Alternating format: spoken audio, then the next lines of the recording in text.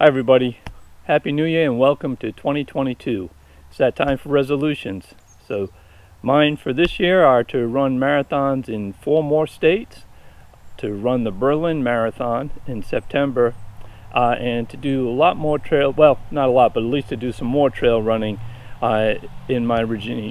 So as for the YouTube channel, our goal is to do at least one a month. Uh, we think we can do more than that, but we're going to at least promise to get out one video a month. In addition to our state races and shoe reviews, we're going to be doing other tips such as getting a running coach, a personal fitness coach, and doing lists of the favorite places we've been to thus far. If this is one of your first times watching one of our shoe reviews, my goal is to, one, just tell you how the shoe felt, but most importantly, how it held up over 300 miles so you know just how much shoe you're getting for your money.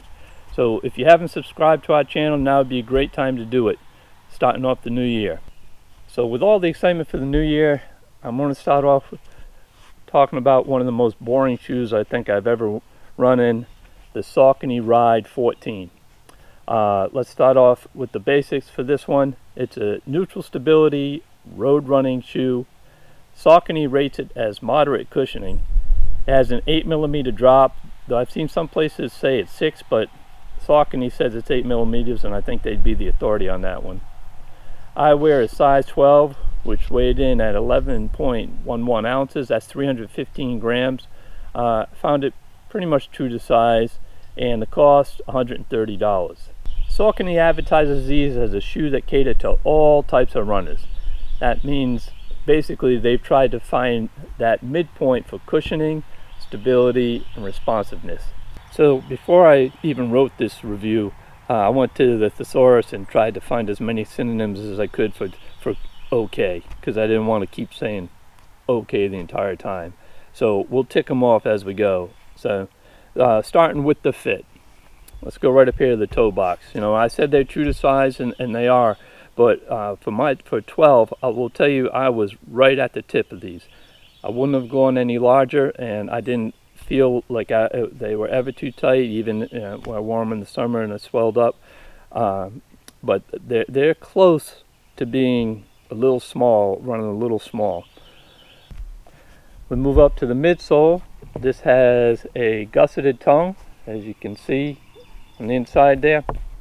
Um, and uh, I, I, thought actually I have narrow feet, and, and, I thought this was actually more of a narrow shoe. So uh, I liked it in that regard.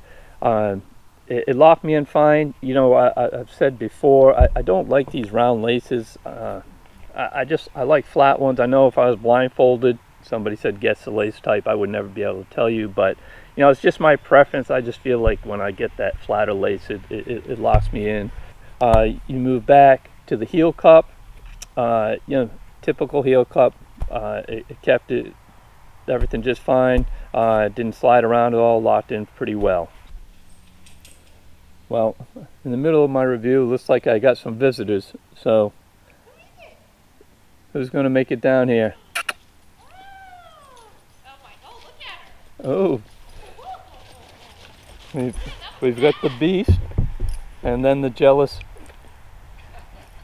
I, I won't. The other B word. I won't call her that. So, yes, doggies.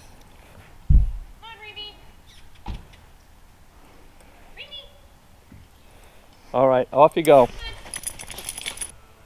Well, since I haven't worn Sauconys before, uh, I can't compare this version 14 to the previous version 13. Uh, I did look at some reviews uh, and they didn't say there was too much change except in the top and then went ahead and looked on Saucony's site and they stated they hadn't changed the sole at all. Uh, all they did was on this top they made it this uh, form fit technology that combines a new and improved engineered mesh top that optimizes breathability with a lighter, thinner internal construction. Uh, I thought that's kind of that's interesting because I thought the shoe actually still was a bit warm when I ran with it. So I can only imagine that improving it from the 13 to this uh, must have been pretty good. I, I, think this this tone we talked about earlier, uh, it's, it's pretty thick. Um, I think that's one of the reasons that makes it so tight on the midsole. Uh, but that thickness also, I think, keeps in some of the heat. So they may have improved on this 14, but I think there's even more room for improvement going forward. So when I first put them on, I did think they felt a little rigid uh, compared to other shoes. Uh, thought that would change over time. Then the first time I wore them was on a dog walk, which often seems to be the case. And, and certainly when I was done, I remember writing down that they seemed a little stiff. Took them for a six mile run, first, first, my first run in them. And when I was done, I thought they seemed a little stiff. Uh, and so the you know the responsiveness was was not bad, uh, but usually if you don't get a lot more a lot of responsiveness, the trade-off is you get more cushioning and softness. Uh, and I, I, felt the cushioning was just adequate. Um, so it, it just seemed to be somewhat of a boring ride.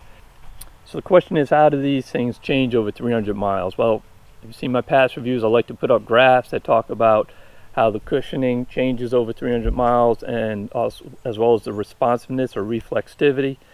Um, it was, there's no change. So I'm not even using graphs because again, they're, ju they're just straight line graphs. I mean, this was just nothing. It was really an unnoteworthy experience.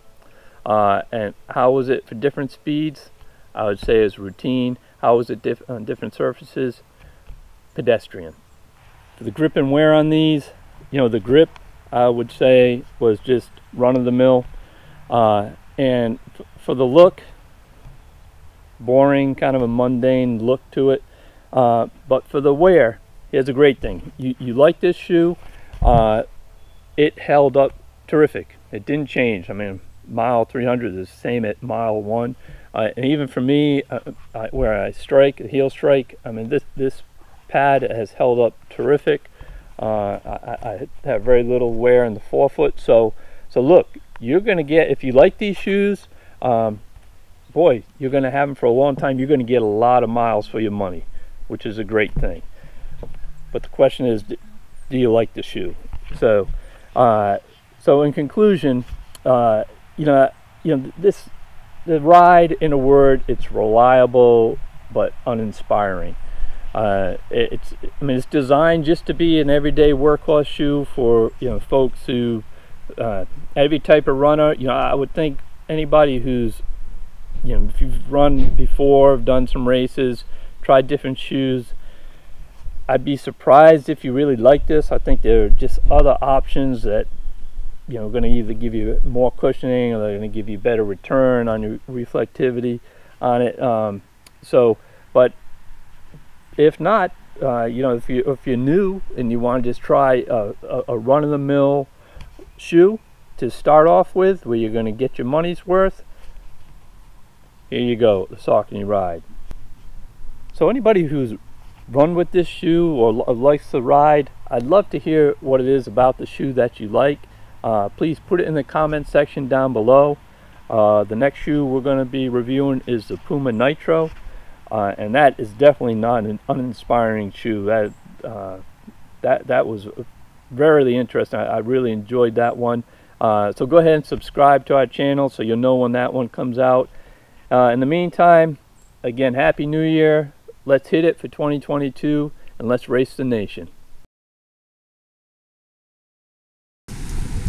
Well, in this rendition of Stupid Things to Argue About with Your Wife, it's the noises that our dog makes. Fortunately, we have an obliging dog who's made an array of sounds over the years, uh, but this most recent one was really unique. Uh, and so we were arguing where Dorothy said it sounded like a seal or sea lion. Uh, and I said, no, I thought it sounded more like a Tibetan throat singer. But anyways, you can be the judge of that. And also, this is 24 hours after I just did my shoe review. What a difference in the weather, huh?